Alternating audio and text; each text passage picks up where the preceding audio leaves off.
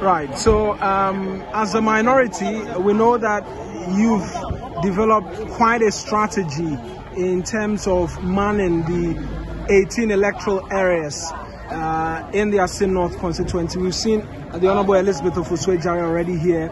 Walk us through the plan because you you're, you're appearing to be scattered all across. That, I think that we, we, we, as you can see, uh, the plan is that the people themselves are so determined to basically make sure that their voices are heard. So they started very early in the morning, in an very peaceful manner. And it looks like everything is going peacefully. And I think that, uh, you know, if you look at the exit interviews with them, it's very clear that they are determined to make sure that the people of Ghana will hear their voice. And I have, I have noted, and I'm quoting the Chief Ahmed, that they are going to deliver their judgment today.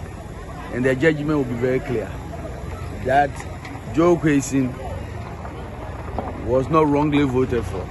They are going to send that message again today. And I think that that's what we are seeing. That's why they are so determined. Some of them have been in line since this morning, but they are not wavering at all. And I'm very proud of them.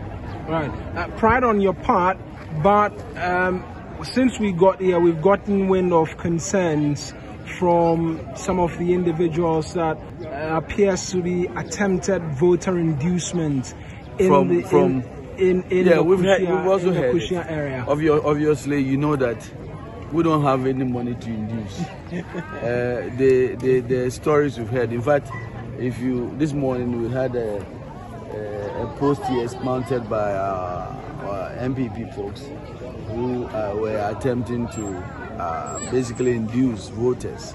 And I think that thanks to the cooperation of the police, uh, uh, we were able to put a stop to that. So they, they had a poster here where they were seeking to do what?